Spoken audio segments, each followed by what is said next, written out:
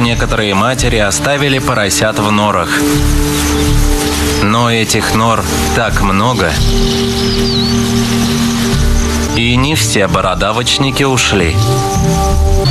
Встреча с таким крутым самцом может закончиться очень плохо. Стало немного теплей, и у нее почти нет шансов найти беззащитного поросенка. Нужно исследовать все возможности и как можно скорей. Быстро проверить нору. Ничего, идем дальше. И, наконец, мать слишком надолго оставила своего детеныша одного. Теперь самке леопарда нужно убедиться, что мать не поймает ее.